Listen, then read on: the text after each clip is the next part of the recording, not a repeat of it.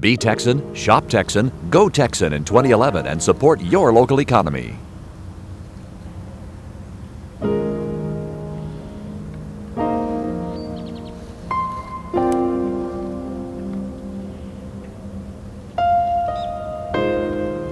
In a dense fog, the boats of Rockport, Texas become ghost ships, rocking gently with the tide. While low visibility keeps most pleasure seekers at bay, Bob and Gwen Schroeder have work to do down at the pier. It's so quiet, it's so peaceful. It's just beautiful, tremendous experience. You know, it's you, God, the wind, and then your boat. These two aren't replacing rigging or balancing ballast, they're here to pick up art supplies.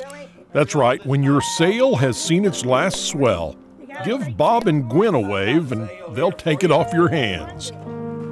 This is the one that was torn up in the storm, isn't it? Right. It was a boat right straight across uh, the harbor and it was flapping in the breeze. And There's factors that can contribute to the destruction of your sail. Uh, there's a term called blowout, and one's out sailing along, and, and you may have a little uh, f- uh, flaw in your sail, and it just splits wide open.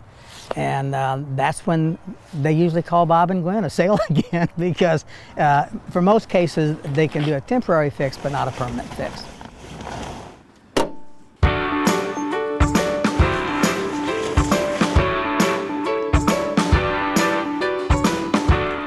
And we would see people swapping down to the dumpster with their sail. And I thought there's got to be something we can do with that. There's just too much left there that's still good.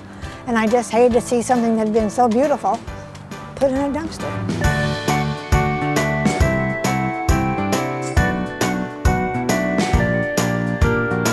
Take a few blown out sails, add two hopeless romantics, and you end up with a booming business like Sail Again Sailcloth Bags.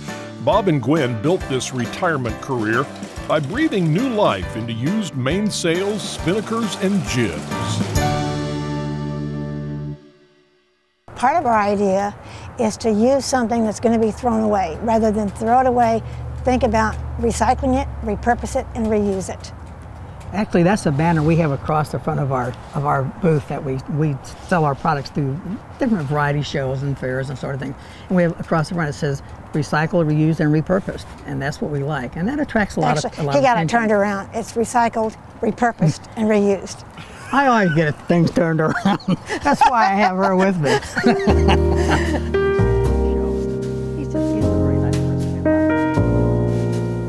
Hundreds of bags later, these lovebirds and their little venture have gone overboard.